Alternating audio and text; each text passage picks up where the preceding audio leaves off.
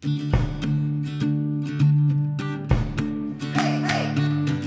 is Somen Debnath. He's on a world tour to raise awareness for HIV and AIDS.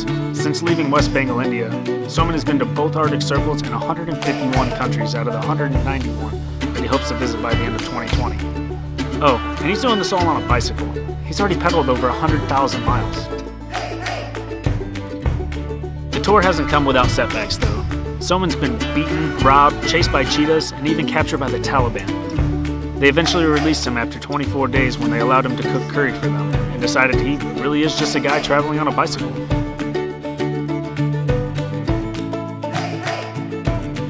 Despite the violence and other problems, Somen is yet to be deterred from his goal.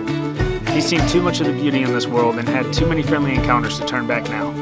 From meeting kings in Africa to traveling under the northern lights in Greenland and Alaska. Somen says that the thing that has truly made the trip incredible is the people that he's gotten to meet along the way. It's very easy to see these passions in someone, even in the short time that we've traveled together. Every turn of the road brought new excitement in his voice as he gazed up at the mountains. Truly remarkable is his love of life, all life, not only the bears, lions, and other exotic animals he's seen, but even a ground squirrel made Somen rejoice. As Somen nears the end of his journey, his sponsorship is becoming more important than ever. Every single dollar helps, and for each dollar donated, Somen will dedicate a mile of his journey to you. His next few stops include Hawaii, Japan, and Russia, so it's a pretty good time to get involved.